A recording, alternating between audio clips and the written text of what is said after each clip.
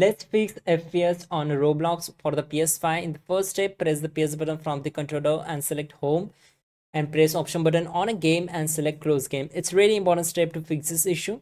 Now go to the settings and select the parental controls. Now select the first option, add a default password here and simply disable PS5 console restrictions option. Again, it's really important.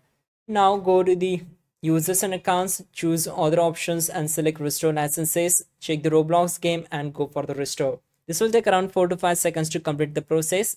Once done, go back to the main settings and select the save data and game app settings choose the game presets and select resolution sorry performance mode from here after that we need to select the screen and video select the video output on the right side we need to choose the resolution to automatic turn off VRR option and then select 120 Hz output to automatic.